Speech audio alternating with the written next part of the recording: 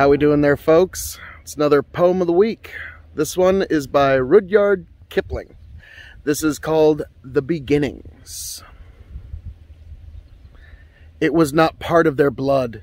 It came to them very late, with long arrears to make good when the English began to hate.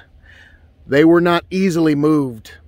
They were icy, willing to wait, till every count should be proved ere the English began to hate.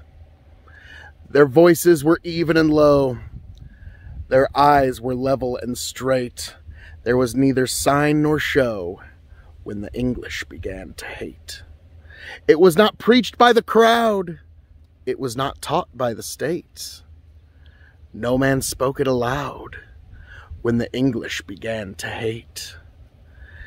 It was not suddenly bred it will not swiftly abate.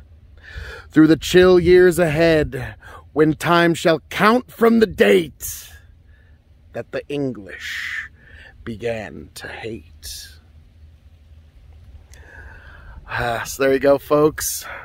That is the poem of the week uh, by one Mr. Kipling uh, the beginnings. So folks, if there's some poem you'd like me to read, if you'd like me to read your poem, please just let me know in the comments and I'd be more than happy to. I love the beautiful imagery of great poetry.